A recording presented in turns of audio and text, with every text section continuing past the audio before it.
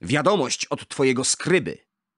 Starożytne miasto Ur, zlokalizowane na obszarze jednej z kolebek cywilizacji, za którą powszechnie uważamy Mezopotamię, już w czasach babilońskich było miejscem o bogatej historii i oszałamiającym dziedzictwie kulturowym. Jednak obok tego ta metropolia stanowiła również niesamowicie ważny punkt na handlowej mapie żyznego półksiężyca. Wędrowcy, maruderzy, a wreszcie i kupcy do Ur przybywali z różnych kierunków.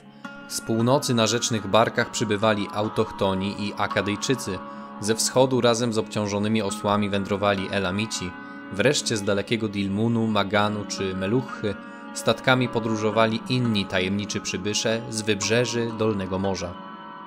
Kupcy zjeżdżający do miasta zajmowali się handlem wszelkimi rodzajami dóbr. Przybywając z dalekich krain sprowadzali do Ur prawdziwe skarby, które zapewniały ciągłość i trwanie sumeryjskiej cywilizacji. Miedź z tajemniczych zakątków, kamienie szlachetne o promieniujących barwach, drewno, które opowiadało historię minionych epok i kość słoniowa, świadectwo nieznanego świata. W zamian tym odległym krainom mezopotamscy kupcy odwdzięczali się eksportując lokalne produkty, takie jak sukno czy odzież, wreszcie zboża i żywność, której w żyznym skądinąd półksiężycu było aż w nadmiarze. Ci sumeryjscy kupcy znani jako Damkara nie pracowali tylko na cudze rozkazy, byli mistrzami własnego przeznaczenia i żeglarzami własnych losów. Ich transakcje były zawiłe, wiodące przez labirynt klinów wyrytych w glinianych tabliczkach. Przynosili bogactwo do pałaców, zdumiewali świątynie i układali sieć kontaktów pomiędzy nimi. Tymczasem to ich własne prywatne skarbce pękały w szwach od dziesiątków talentów srebra i złota. To właśnie spośród tego szanownego zgromadzenia wyłania się postać pewnego kupca, który przez swoją chciwość został już na zawsze naznaczony piętnem oszustwa. Ale zacznijmy od początku. Jeśli interesują Cię materiały powstające w skryptorium, rozważ pozostawienie subskrypcji. Ur jest zlokalizowane w południowym Iraku i leży skąpane nie tylko w słońcu, ale też w piaszczystym, pustynnym krajobrazie, około 15 km od meandrów Eufratu. Budowa miasta w takim terenie wydawać się może absurdalna. I słusznie, jednak nie zawsze tak było. W czasach starożytnych Ur było położone nie tylko bezpośrednio nad rzeką, ale miało także dostęp do morza. Topnienie lodowców spowodowało, że Zatoka Perska, która podczas ostatniego glacjału była zaledwie rzeczną doliną, stała się istotnym szlakiem komunikacyjnym dla statków przybywających z południowych wybrzeży Półwyspu Arabskiego oraz przybyszów z Dalekiego Wschodu. Linia brzegowa ustabilizowała się około 6000 lat temu i od tamtej pory zaczęła się zmieniać do postaci, jaką znamy ją dzisiaj. Kolejne pokolenia mieszkańców Ur musiały zapewne obserwować morze, które stale oddalało się od miasta – a wszystko to przez Tygrys i Eufrat, które niczym klepsydra przesypywały piasek na południe, tworząc nie tylko rozległą deltę, ale i odliczając czas do mającego nadejść tysiące lat później upadku samego miasta. Ale to jeszcze nie teraz. Teraz jesteśmy w Ur gdzieś pomiędzy końcówką trzeciego a początkiem drugiego milenium przed naszą erą, kiedy to samo miasto było tętniącą życiem metropolią, pełniącą na dodatek funkcję najbardziej wysuniętego na południe morskiego emporium cywilizacji sumeryjskiej. Mezopotamia jaka jest, każdy widzi. Bogata w dwie życiodajne rzeki i żyzną glebę, wprost idealną do uprawy zbóż. Już Herodot w V wieku przed naszą erą twierdził, że tak jak Egipt jest darem Nilu, tak Mezopotamia stanowi prezent od Tygrysu i Eufratu. Ale żeby nie było nam zbyt słodko, to pomijając żyzną ziemię i niezliczone pokłady gliny nadającej się na cegły i tabliczki, nomen omen gliniane, na tym możemy zakończyć, jeśli chodzi o te niezmierzone bogactwa Mezopotamii. Zwłaszcza na południu, a tutaj przecież się znajdujemy, poza żywnością brakowało w zasadzie wszystkiego, co niezbędne do rozwoju cywilizacji epoki brązu z prawdziwego zdarzenia. Tak więc nie znajdziemy tutaj ani kamieni nadających się na budulec, ani lasów, z których można by pozyskiwać drewno. I co chyba najważniejsze, w okolicy jednego z najbardziej charakterystycznych centrów cywilizacji epoki brązu nie znajdziemy brązu, a dokładniej rzecz ujmując surowców, które były do produkcji brązu wykorzystywane. Niedobór tych cennych zasobów sprzyjał dynamicznemu rozwojowi handlu zagranicznego.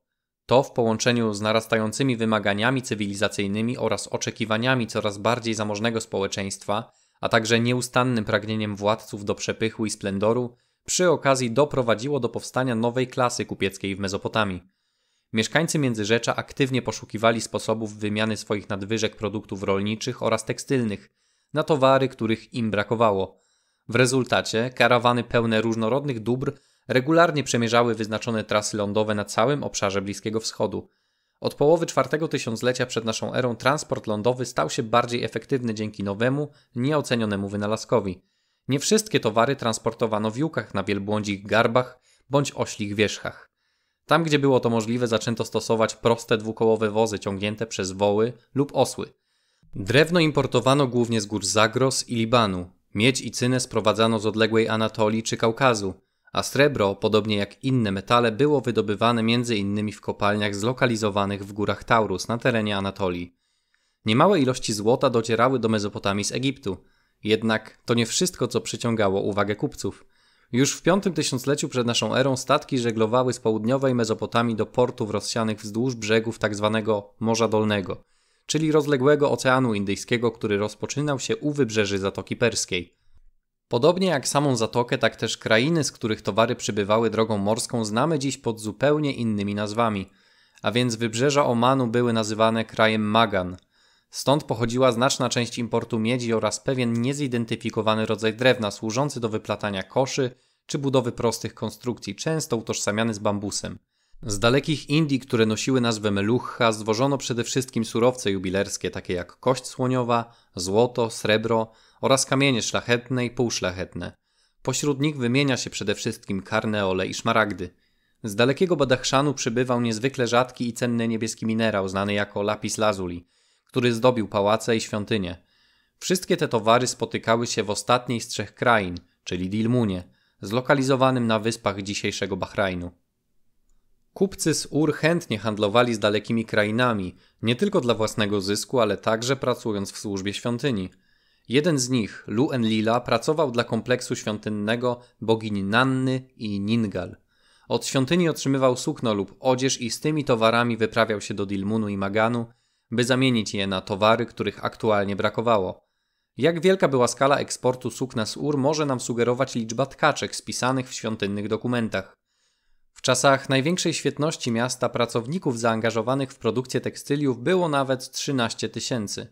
W każdym razie Lu Enlila, pobrawszy ze świątynnego magazynu garbowane skóry, wełnę i szaty, pożeglował na wschód, by pozyskać dla świątyni miedź, ochrę, kamienie szlachetne czy kość słoniową. Nie możemy być pewni, czy Lu Enlila działał wyłącznie dla świątyni, ponieważ dokumenty potwierdzają uiszczenie przez niego opłaty już po powrocie. Może więc sama świątynia w Ur była jedynie jego klientem?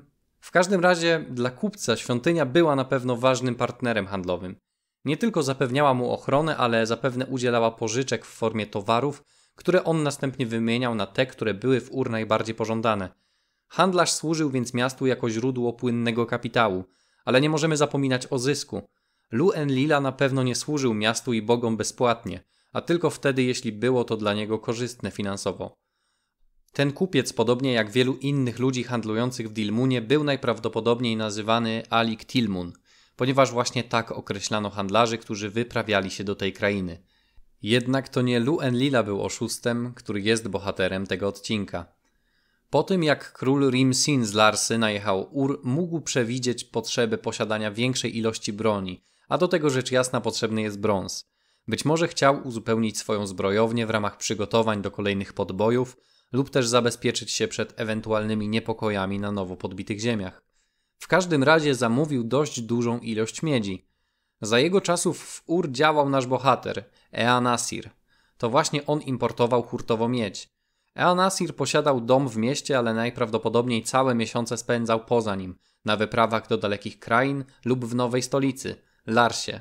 Aby wypełnić zamówienie Rimsina, Eanasir wysłał duże ilości miedzi z Dilmunu do królewskiego pałacu. Jedna z zarejestrowanych dostaw ważyła ponad 18 ton. Eanasir działał również jako prywatny handlarz, kupując miedź na własny rachunek i sprzedając ją następnie w ojczyźnie.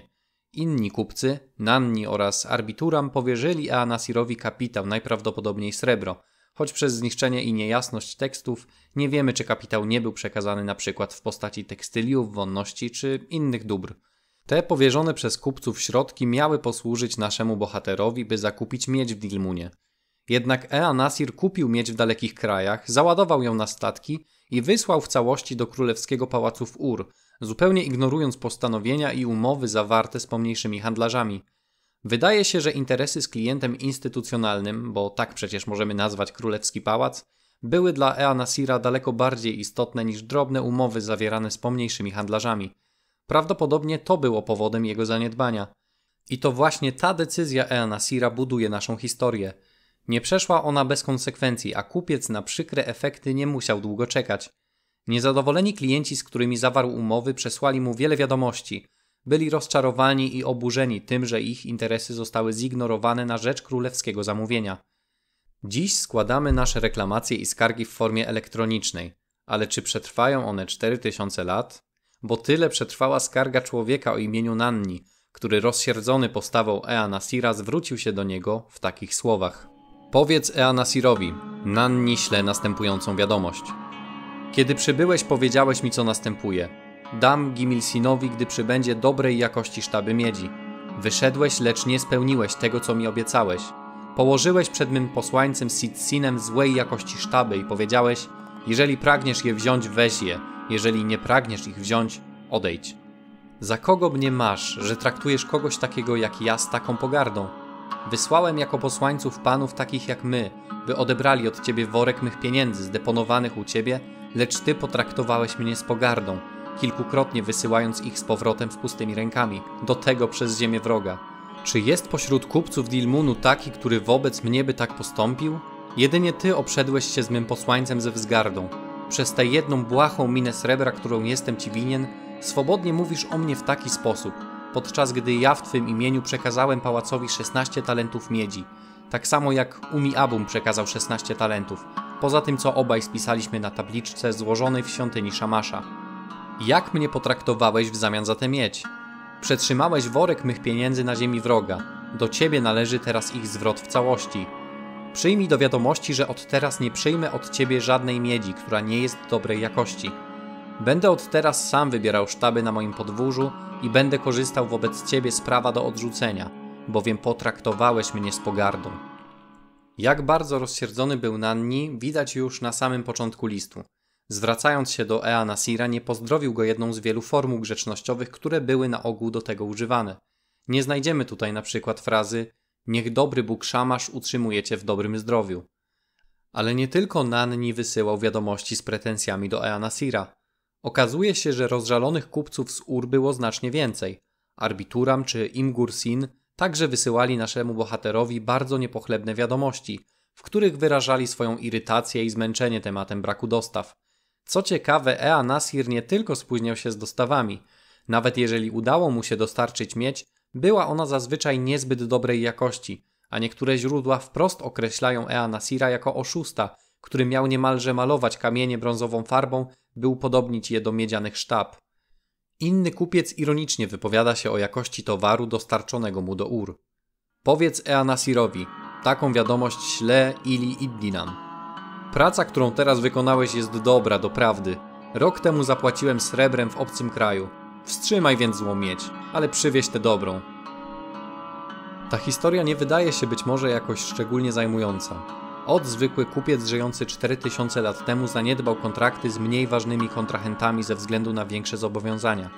Ale mamy tu jednak do czynienia z najstarszą udokumentowaną reklamacją, co uwzględniła nawet Księga Rekordów Guinnessa. Postać Ea Nasira stała się też w pewnym momencie przyczynkiem do popularyzacji cywilizacji sumeryjskiej. Jego konflikt z Nannim jest od kilku lat internetowym memem, a sam Ea Nasir już na zawsze zostanie zapamiętany jako handlarz sprzedający miedź słabej jakości.